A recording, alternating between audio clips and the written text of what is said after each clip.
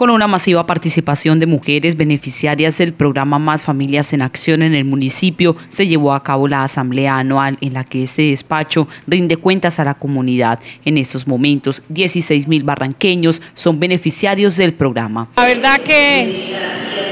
el, mensaje que yo les di a ellas es que nosotras como mujeres siempre tenemos un liderazgo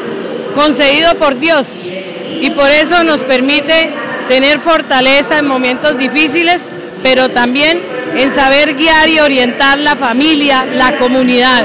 Entonces, ese empuje y esa perraquera, como se dice, es la que todas las mujeres de Barranca Bermeja en este momento debemos asumir para generar confianza en la comunidad la alcaldesa Elizabeth Lobo participó del encuentro y resaltó las acciones que adelanta el gobierno en beneficio de esta comunidad vulnerable. El gobierno municipal apoya con recursos para desarrollar todos los talleres, la capacitación que se tiene que dar y la formación y la orientación que ellas como multiplicadoras ante la comunidad pueden realizar a través del programa. En el espacio se posicionaron las nuevas madres líderes de diferentes comunas del municipio, quienes durante dos años liderarán procesos operativos del programa con el enlace municipal. O sea, nosotros nos capacitan en trabajo en, equipo, en convivencia ciudadana, eh, trabajar en comunidad, eh, los valores, el respeto, el amor, la convivencia entre la comunidad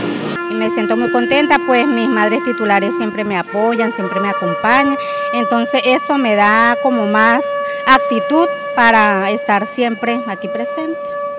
Estar pendiente de los pagos de los niños, eh, que las mamitas si lleven los niños al centro de salud, que los niños que estudian también estén